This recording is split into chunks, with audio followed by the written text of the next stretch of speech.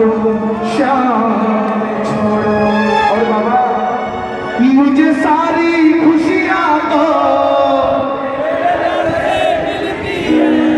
हर गलती की माफ़ी हर गलती की माफ़ी मुझे तुझसे मिलती है कमल सताए।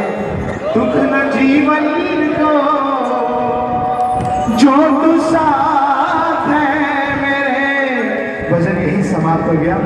एक बार पूरे हाथ उठा देना दरबार में जितने जन है जितने जन हाथ उठाना, और सभी बोलना, ओ